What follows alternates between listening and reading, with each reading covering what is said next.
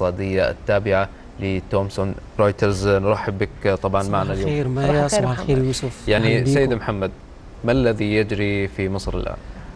والله يوسف هذا سؤال يعني تماما صعبا في الإجابة عليه. خلينا بالاقتصاد لكن يعني إذا, إذا الاقتصادي.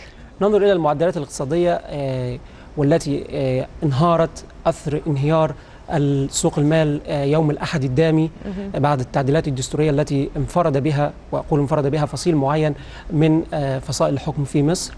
فنجد أن البورصة خسرت في خلال خمس دقائق فقط وده أكثر شيء يعني انفرادا في العالم أن سوق مالي يخسر خلال خمس دقائق ما يقارب من 15 مليار جنيه مصري. فهذا رقم ضخم جدا.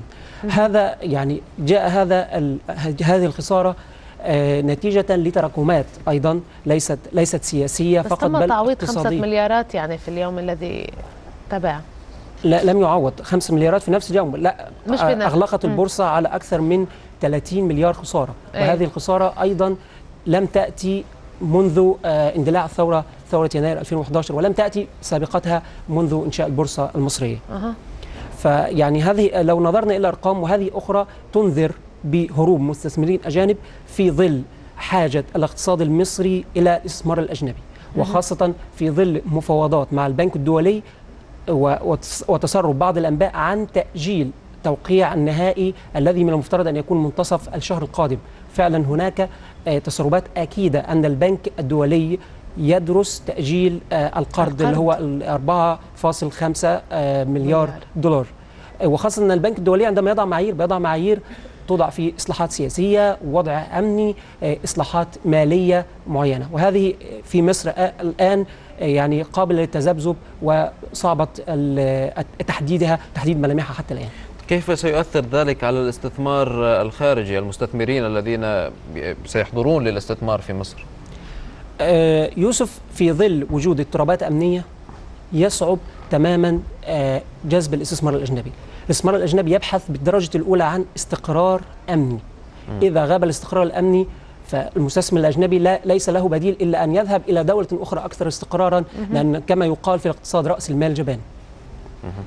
طيب في هذه الحالة كيف ستنعكس هذه الأحداث على الاقتصاد ككل؟ تحدثنا عن صندوق النقد تحدثنا عن البورصة. بالنسبة للشعب على الأرض لوظائفهم كيف سيكون الأثر؟ إذا نظرنا إلى تلك الأرقام وانهيار البورصة وهروب الاستثمار الأجنبي في ظل عجز موازنة قدر قدر في الربع الأول من العام الحالي ما يقارب من 13 مليار دولار أو 70 مليار جنيه مصري في الربع الأول من العام 2012 هذا قد يتوقع أن يصل إلى 200 مليار جنيه مصريا نهاية العام الحالي.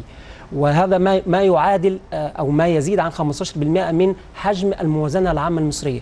فهذا رقم ضخم للغاية. في ظل آه، انخفاض آه، إحدى إحدى القطاعات الأخرى مثل السياحة وهي أهم قطاعات في الناتج المحلي انخفضت بنسبة تقارب 30% ومتوقع أن نهاية ديسمبر تصل إلى 35% وأنتم عارفين تماما أن السياحة آه، آه، تساهم بما يقارب من 7% من الناتج المحلي المصري. كل هذه مؤشرات بجانب ارتفاع البطالة بجانب استمرار الاحتياجات السياسية حتى الآن وغدا وبعد غد في ظل آه، يعني يعني بالأحرى في ظل هذه الاضطرابات السياسية. كل يوم يخسر الاقتصاد المصري مليارات الدولارات نعم. ليس فقط في سوق المال ولكن في القطاعات المختلفة الاستثمار الأجنبي السياحة ال- الموازنة العامة نعم. كل هذا يؤدي إلى نزيف أكثر وأكثر في الاقتصاد المصري وخاصة يعني إذا تابعنا وزير التجارة المصري ووزير التخطيط. أكد صحيح. أن الصندوق النقد الدولي ما زال يتفاوض على نعم. القرض كما ذكر كما تحدثت بأنه ولكنه أشار أيضاً- أن أن يؤجل هذا ال- هذا.